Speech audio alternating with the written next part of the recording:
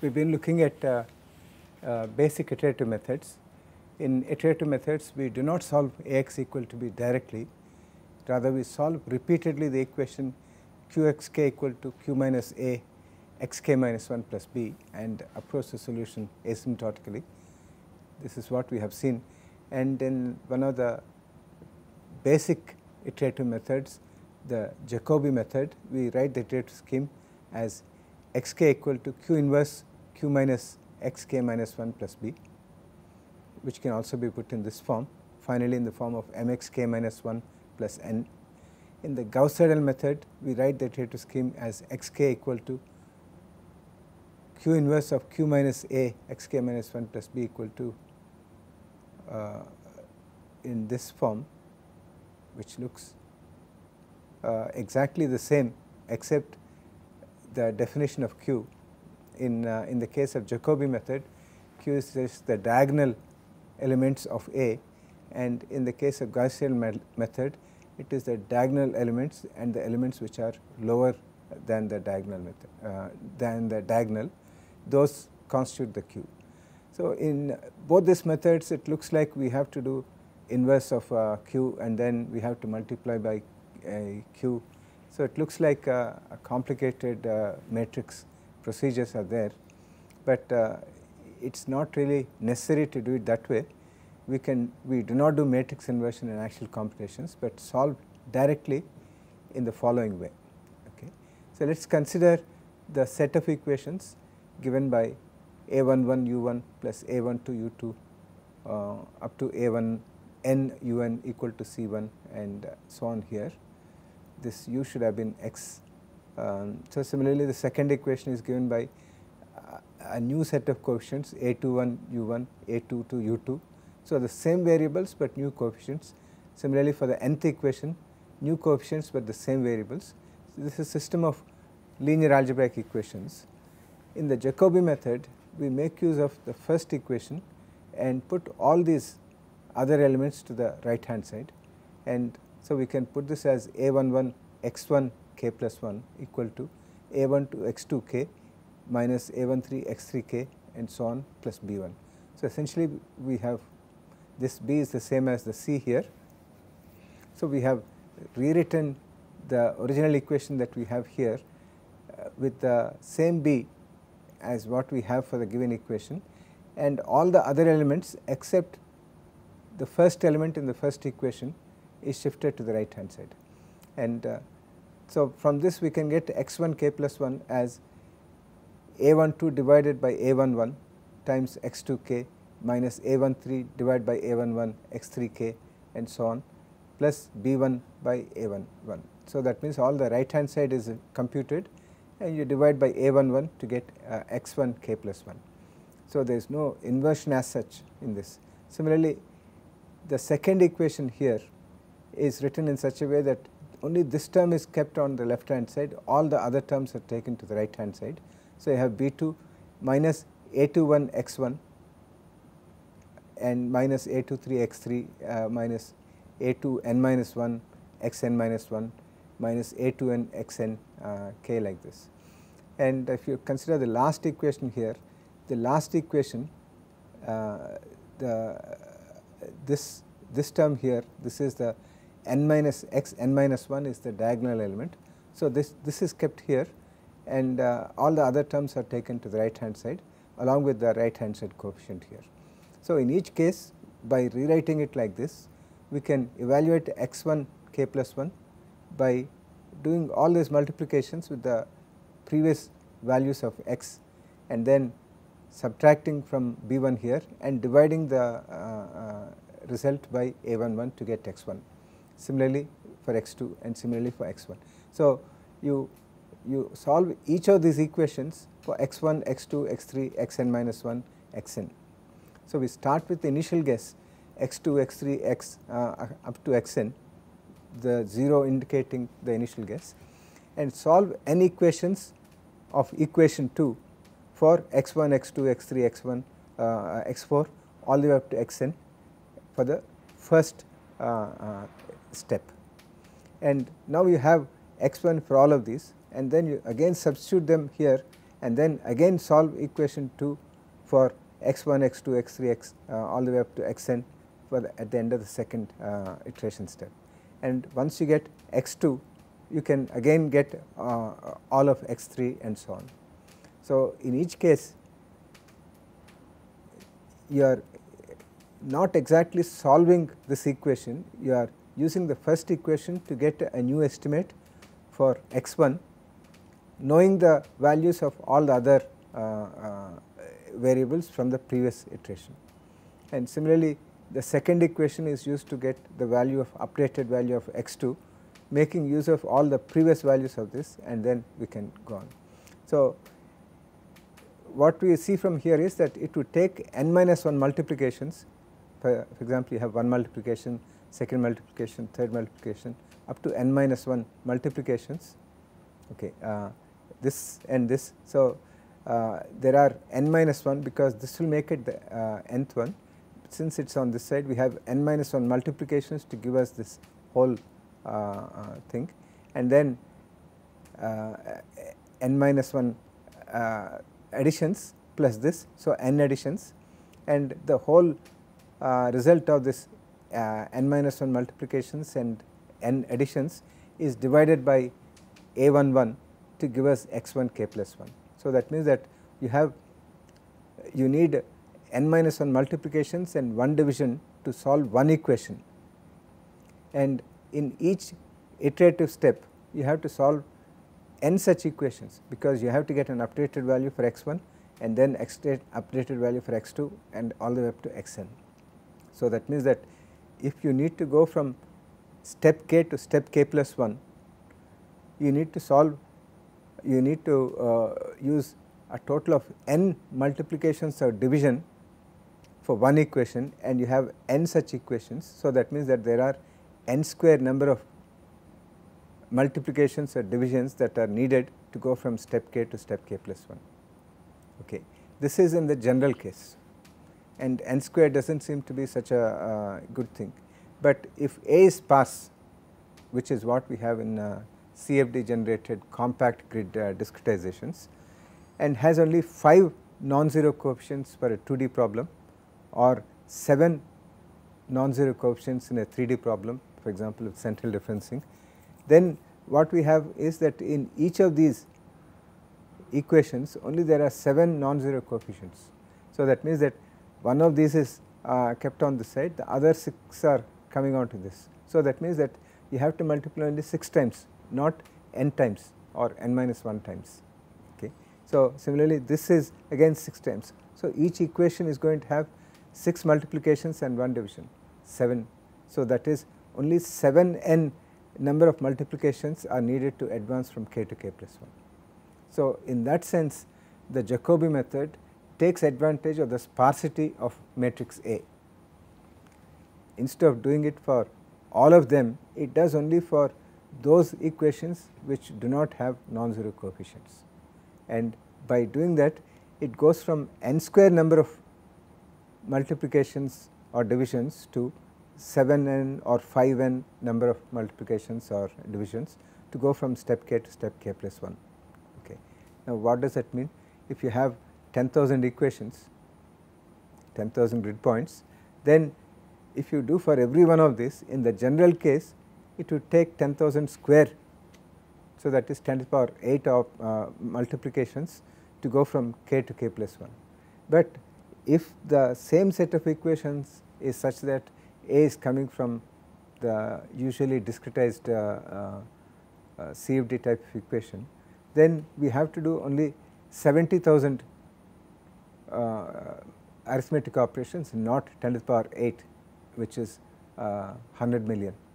So, that is a kind of advantage that we get when you are dealing with sparse matrix and a sparse matrix advantage is uh, achieved is exploited by the Jacobi method. So, in that sense it makes it uh, uh, uh much better than in the general case. So, in the general case we are not gaining much of an advantage whereas in this case we are gaining a significant advantage because this n square looks attractive compared to the n cube by 3 for a Gaussian elimination, but we do not get a solution in one step of k to k plus 1. We have to do many of those. So, how many of those depend will tell us the total number of computation and we will see that shortly. But the, the way that we actually implement Jacobi method is that is such that we take advantage of the non-zero coefficients and the sparsity of matrix A and we go from step k to step k plus 1 in 7n or 5n number of uh, uh, or some constant times n where the constant is of the order of 10 number of multiplications and divisions to go from step k to step k plus 1. And when you look at what is actually required to do these things it is pretty straightforward there is nothing difficult at all in going from step k to step k plus 1 it is very simple to program. Okay. Now what happens in Gauss-Seidel method? For the same set of equations in the Gauss-Seidel method we have q becoming uh, d minus e and all that kind of thing okay. we can now forget all that and we can rewrite it in this simple form which results in the same form as what we have earlier. So, that is the first equation remains the same as in Jacobi method a11 x1 k plus 1 is b1 minus a 1 2 x2 k minus a 1 3 x3 k and so on up to minus a1n minus 1 xn minus 1 k minus a1n xn. The second equation is similar to the previous one except that by the time we have come to solving the second equation we have already solved the first equation. So, we know the k plus 1 iterative value the updated value of x1. So, we make use of the updated value here and we have not solved the third equation. So, we still have only the old value and then all these things are old values and then you have b, b2. By the time we come to the n minus 1th variable x n minus 1 uh, x n minus 1 we have solved for x1, x2, x3 all the way to xn minus 2. For all those things we make use of the updated values and only for the yet to be updated value x and k is put as the old value. So, in that sense the Jacobi method and the Gauss-Seidel method are very similar except in the case of Gauss-Seidel method wherever we have an updated value we substitute that into this and otherwise it is the same approach no matrix inversion and we solve again with uh, uh, an initial guess and then from this we solve for x1 and then x2, x3 and so on. And uh, again if A is sparse we do not have to do it for all of these and we have only 5 or 7 n number of uh, uh, non-zero coefficients then it takes only 5 n or 7 n multiplications. So that means that we are really uh, taking in the advantage of sparsity here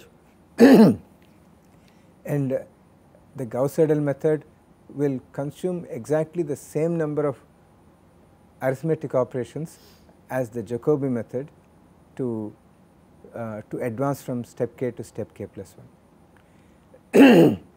but there is one key difference which sometimes uh, makes the, the Jacobi method better than the Gauss-Seidel method. Okay. One would immediately see the contrast between the two is that we are making use of updated value as soon as it becomes available in the Gauss-Seidel method.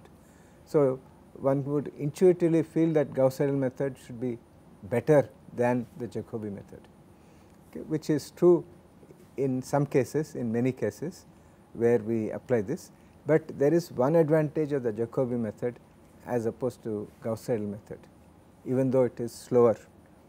And the uh, thing is that if you have for example, a million equations and you want to solve these things, then you can solve each equation independently.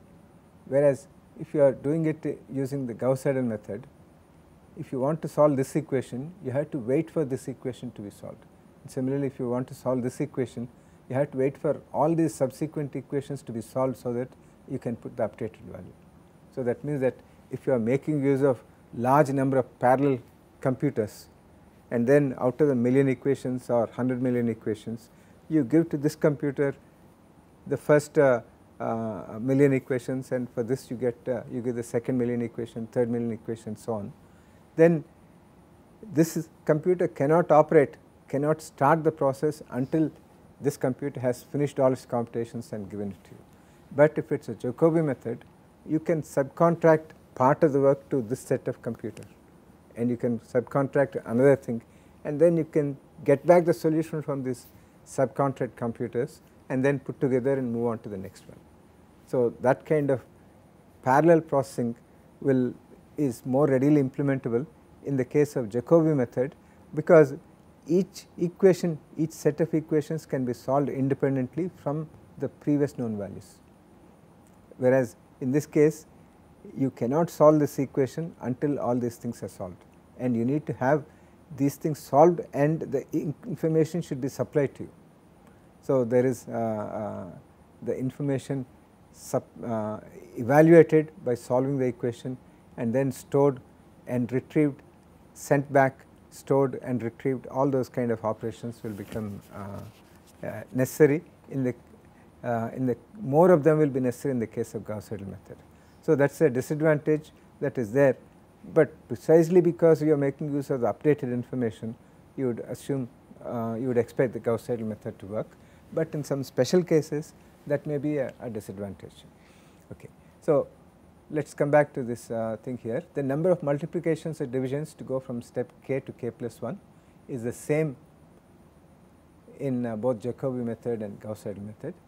The actual number of arithmetic operations depends on how many times we have to solve equation 2 or 3 for the Jacobi method and Gauss-Seidel method to get a converged solution. Okay.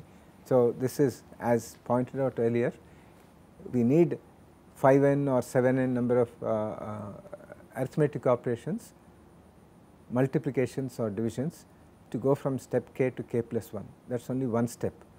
How many steps are needed to get a converged solution? Converged solution here we are saying uh, is a solution in which x k plus 1 that is the updated one is almost equal to x k the one that we have updated. If the amount of updating between the previous and the current one is very little is very very small then you can say it is almost converged solution because any further updating is not making bunch of change. So, if you want to go up to that how many steps do you have to take to get down get down to that position that depends on that tells us because in each step you are using 7 n number of uh, uh, computations. So, that will tell us the overall amount and how to get that is something that we will have to see by looking at what is this, what is the convergence rate, what are the convergence characteristics.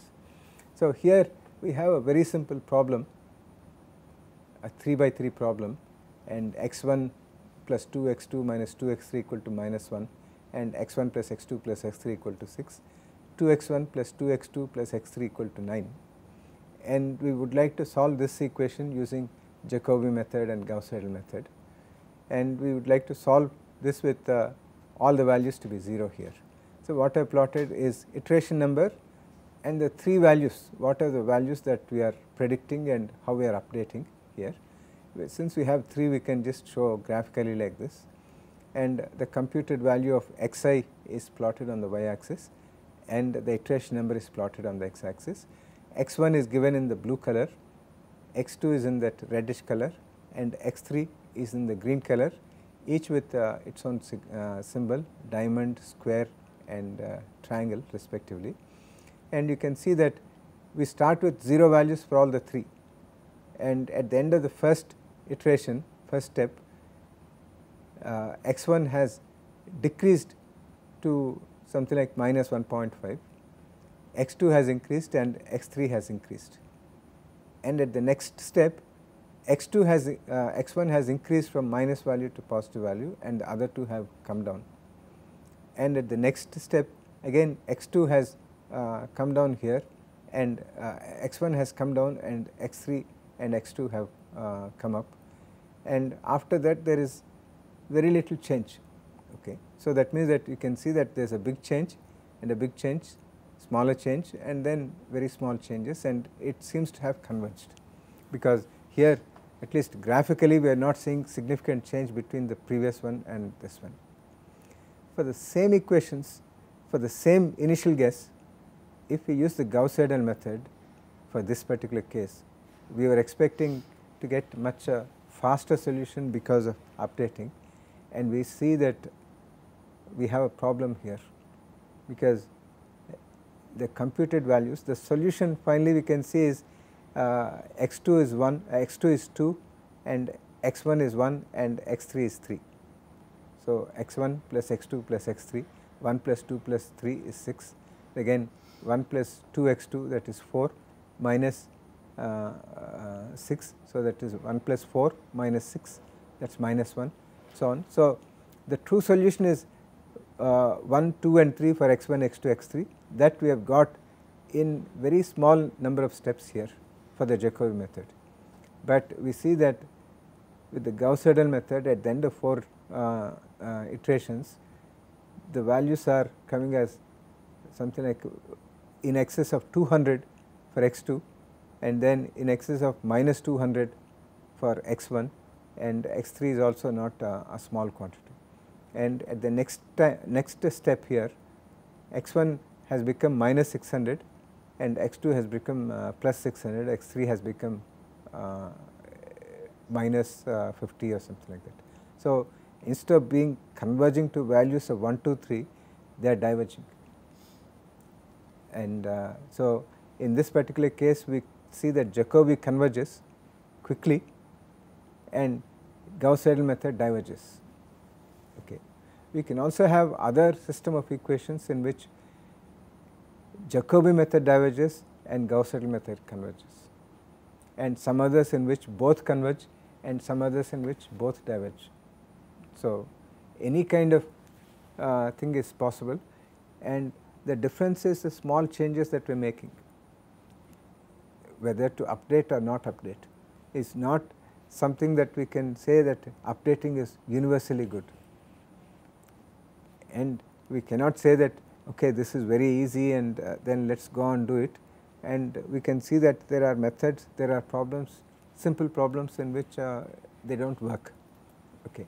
So it is precisely for this reason we have to do a proper convergence analysis. Just like in module 3 we took a simple problem and we showed that the wave equation and uh, uh, for the diffusion equation, unsteady diffusion equation, we have using the simplistic uh, uh, finite difference approximations can give us sometimes to problematic solutions. And we see exactly the same kind of thing here.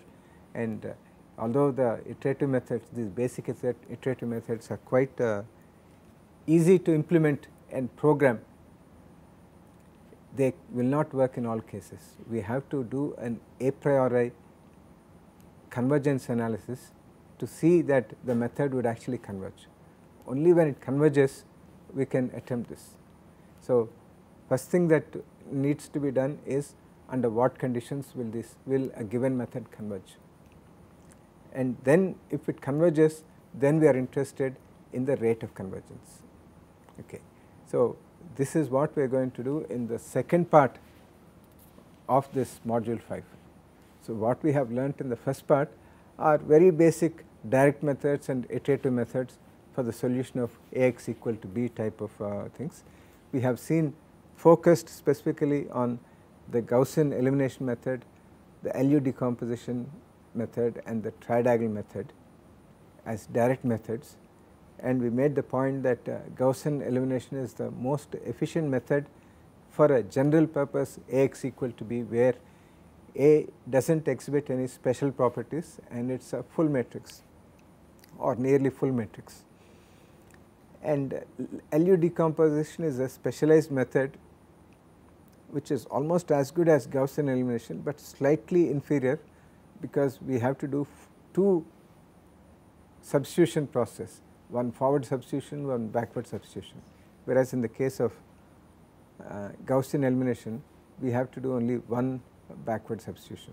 So, there is a small uh, difference there, but in cases where we have to solve Ax equal to b several times with the same A, then if you do the decomposition of A into L times u once, then that can be used for all the other equations in which b is changing. So, in that sense LU decomposition is a, becomes a better method than Gaussian elimination. It has other things also that we will see uh, later on. The tridiagonal method is a special method which works uh, very well, but it has limitations in its applicability. It is much better in terms of uh, computational uh, arithmetic operations than uh, either Gaussian elimination or uh, LU decomposition, but it will work only for uh, matrices A matrix having only 3 adjacent diagonals including the uh, main diagonal okay one main diagonal and the one above and the one below. So, only for this case will it work and even in this case we, we require diagonal dominance. So, in such a case we do not have any problem with division with, uh, with uh, by zeros problem not arise and uh, we can make use of the tridiagonal me method. It cannot be used for 2D problem and it cannot be used for 3D problem without any modifications. Okay. So, when you come to the uh, iterative methods we have seen today also uh, in this lecture also we have seen the Jacobi method and uh, the Gauss-Seidel method and we have seen how easy these are to implement and to write programs uh, compared to the uh, uh, direct methods where you have to do uh, quite a bit of uh, eliminations and all that which we have not really gone into okay to write a program for Gaussian elimination will take lot more effort than than for Gauss-Seidel method or Jacobi method. But for simple 3 by 3 that we have seen in this uh, uh, class here, we can see that uh, the method is not any method is not converging. And we also made the point that this is only a special case. And there are methods where Jacobi method not converge and Gauss-Seidel method will converge and all that. So, we need to do a convergence analysis.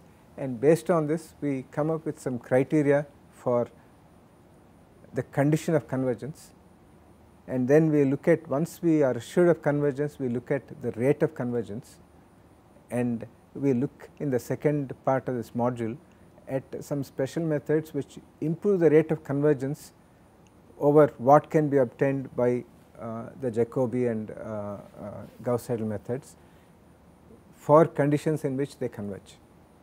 Okay.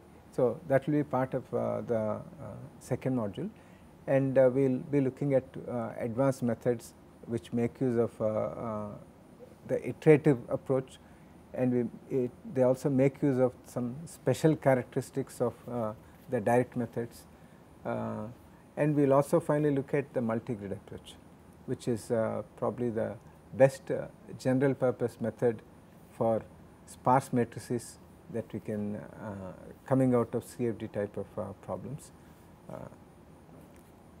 So, that is all there in the second part of uh, module 5. So, as of this lecture we can say that the first module is complete. Okay, thank you.